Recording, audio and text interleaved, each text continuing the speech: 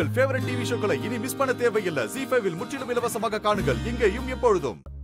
என் புருஷன் கூட நல்லா தான் இருந்தாரு. ஆனா இப்போ இந்த மாதிரி ஒரு பிரச்சனை இல்ல என்னை விட்டு பிரிஞ்சு போற நிலைமைக்கு வந்துட்டாரு. எங்க என் கூட மொத்தமா பேசாம போயிடுவாருன்னு பயமா இருக்கு அண்ணி எனக்கு. அப்படிலாம் எதுவும் நடக்கலல்ல. ஆம்பளைங்களோட கோபம் ஒரு ரெண்டு மூணு நாள் தான். அவன் எப்படி உங்ககிட்ட வந்து பேசுவான். நான் அவனுக்கு எடுத்து சொல்றேன். இப்போவும் அந்த மாயா முன்னாடி நம்ம தோத்து போயிட்டோம் அத்தை. பார்வதி சொன்ன மாதிரி அவ வந்த அப்புறம் எல்லாருக்குள்ளயும் சண்டை முட்டி விடுறா.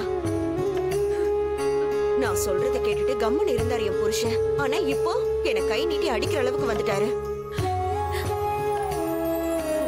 அதுக்கெல்லாம் காரணம் அந்த மாயாதான். அவ இல்லாம இருந்திருந்தா எல்லாமே பழையபடி நிம்மதியா இருந்திருப்போம். ஏன் உங்க வாழ்க்கையில மட்டும் என்னோட வாழ்க்கையிலயும் விளையாடிட்டு இருக்கான். எனக்கு கிடைக்க இருந்த சீனுவ என்கிட்ட இருந்து பிரிச்சுட்டா அது மட்டும் இல்ல உங்க ரெண்டு பேரோட புருஷங்களையும் மாத்திட்டா இப்ப இங்க இருக்கிற நிலைமைய பார்த்தா சீனு கூட நான் சேரவே முடியாம போயிடுமோன்னு எனக்கே பயமா இருக்கு. அவ என் பையனையே என்கிட்ட இருந்து பிரிச்சுட்டானே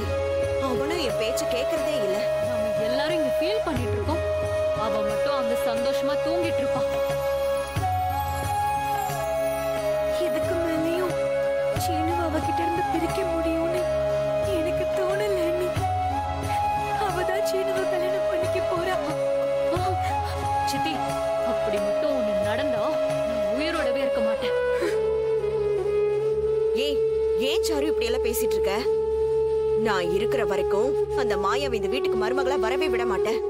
அவ மருமகளா வரக்கூடாதுன்னு நம்ம எல்லாருமே முடிவெடுத்திருக்கோம் இது மத்தவங்களுக்கும் தெரிஞ்சு போயிருச்சு. அதுவும் நல்லதுக்குதான். எப்படி அத்தை? இனிமே நம்ம எதிர்ப்ப வெளிப்படையா சொல்லிக்கிட்டே இருக்கணும். அண்ணன் இப்பவே யோசிக்க ஆரம்பிச்சிட்டாரு. இந்த கல்யாணத்துல நமக்கு விருப்பம் இல்லைன்னு அவருக்கே தெரிஞ்சிருச்சு. அவர் முடிவை தான் எப்படியாவது மாத்த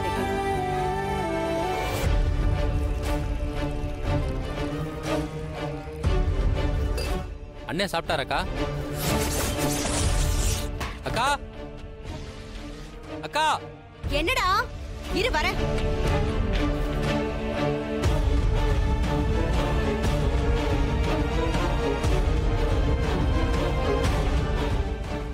என்னடா? ஏன் இப்ப கத்துற? நான் உங்ககிட்ட தானே டிஃபன் எடுத்து வைக்க சொன்னேன். ஏன்? இப்ப அவ எடுத்துட்டு வந்ததால என்னாச்சு? அவ வச்சாலும் அதே தோசை தானே? அக்கா நான் இவ முகத்திலே முழிக்க கூடாதுன்னு இருக்கேன். என்ன இவ கையால சாப்பிட சொல்றியா? ஏங்க இப்படி சொல்றீங்க? நான் தான் மன்னிப்பு கேட்டுட்டேன்ல. இவ என்ன சொன்னாலும் என் மனசு ஏத்துக்க மாட்டேங்குது. இவள பார்க்கவே எனக்கு பிடிக்கல. டேய் சிவா சாப்பிட வேணாக்கா வேணாம் பாத்தீங்களா அண்ணி? இப்ப என் கையால சாப்பிட கூட மாட்டேங்கிறாரு கொஞ்ச நாள்ல சரியாயிடுவான்னு பார்த்தா இவன் ஏன் இப்படி பண்ணிட்டு இருக்கான்? ஏன்னா உன் கையால சாப்பிடுறதுக்கே எனக்கு பயமா இருக்கு. என்னங்க? இப்படி சொல்றீங்க? பின்ன சீனு மாயா நிச்சயதார்த்தம் நடக்காம இருக்கிறதுக்கு உன் கையவே சுட்டுக்கிட்டவ நீ. திரும்ப சூடா ஏமால ஊத்துறதுக்கு நீ ஏதாவது எடுத்து கொட்டிட்டானா? என்னங்க நீங்க? நான் என்ன அவ்வளவு கொடுமைக்காரியா? போதுமா ரொம்ப நடிக்காத. சாரு கல்யாணத்தை நிறுத்தினதுலயே உனக்கும் பங்கு இருக்கு. பார்வதி ஏதோ உன்னை காட்டி கொடுக்காம இருந்திருக்கா. ஐயோ இல்லண்ணே. அண்ணி மேல எந்த தப்புமே இல்ல. போதுமா நீங்க எல்லாரும் எப்படி திட்டம் போடுவீங்கன்னு எனக்கு நல்லாவே தெரியும்.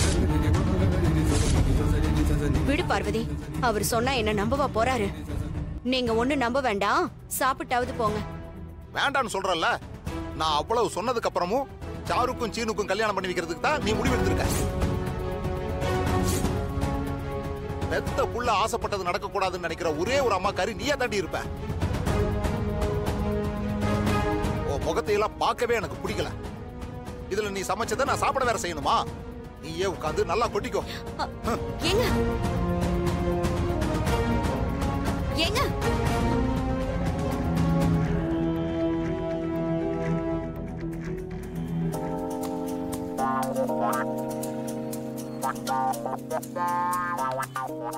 ஆஹா. வாங்க மணி ஐயா. வாங்க வாங்க. வணக்கம் வணக்கம். வாங்க. ஆ, எப்படி இருக்கீங்க? ஆ நல்லா இருக்கேன்ப்பா. ஆமாங்க ஐயா. நீங்க என்ன இந்த பக்கம்? ஹோட்டலுக்கு எதுக்கு வருவாங்க? சாப்பிடத்தான் சரி. ஆ? இல்ல ஹோட்டலுக்கு நீங்க அவ்வளவா சாப்பிட வர மாட்டீங்களே இத பாருப்பா வரிசையா தீபாவளி பொங்கல்னு வருது.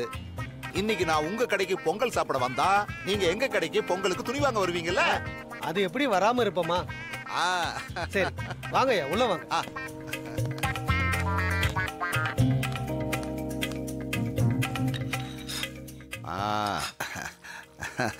என்ன சாப்பிடுறீங்க ஐயா?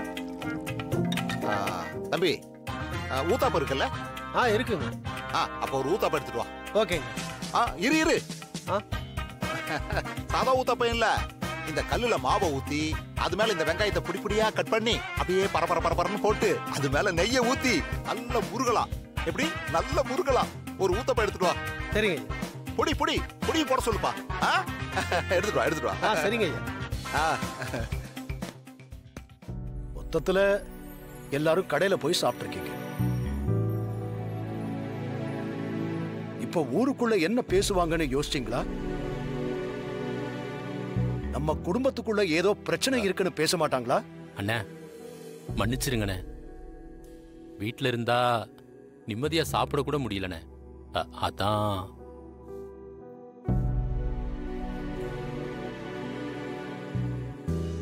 அத்தை பொண்ணு பார்க்க வந்தவங்க அந்த போஸ்டர்ல இருக்கிற போட்டோவை பார்த்துட்டு திரும்பி போயிடுவாங்கன்னு தான் நினைச்சேன்.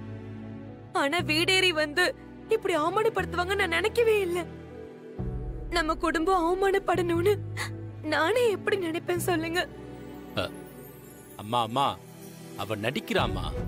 எல்லாத்தையும் நல்லா திட்டம் போட்டு தான் பண்ணிருக்கா ஏங்க ஏன் இப்படி சொல்றீங்க? இந்த குடும்பத்தோட நல்லதுல எனக்கு மட்டும் அக்கறை இல்லையா? இல்ல துளி கூட இல்ல. இருந்திருந்தா எங்க அண்ணன் எடுத்த முடிவையே நீ எதிர்த்து பேசிருப்பியா அதுக்கு தான் நான் மன்னிப்பு கேட்டுட்டேன் இல்லைங்க. என்ன மன்னிச்சிருங்க. ஏய் உன்னெல்லாம் என்னால சத்தியமா மன்னிக்க முடியாது. ஓ முகத்தை பார்க்கவே எனக்கு விருப்பம் இல்ல. இங்க இருந்து போ. ஏய் நாங்களும் இந்த குடும்பத்தோட நல்லதுக்காக தானே சில விஷயங்கள் சொல்லிட்டு இருக்கோம். ஆனா நீங்க மட்டும் அது காது கொடுத்து கேட்டிருந்தா இப்படி எல்லாம் நடந்திருக்காதுல்ல? ஆ ஆ. இதை பாரு பத்மா. நீ என்ன நல்லதுக்கு பேசுவேன்னு எங்களுக்கு தெரியாது. ஆரம்பத்திலிருந்து இந்த கல்யாண விஷயத்துல உன்னாலதான் பிரச்சனையே வந்துகிட்டு இருக்கு. சீனுவும் மாயாவும் விரும்புறாங்க. அவங்களுக்கு மச்சான் கல்யாணம் பண்ணி வைக்க பாக்குறாரு. அதை ஏத்துட்டு போறதை விட்டுட்டு தினம் ஒரு பிரச்சனை பண்ணிக்கிட்டு இருக்க. ஜி ஃபைவ் ஆப்பை டவுன்லோட் செய்து அனைத்து எபிசோடுகளையும் இலவசமாக பாருங்க.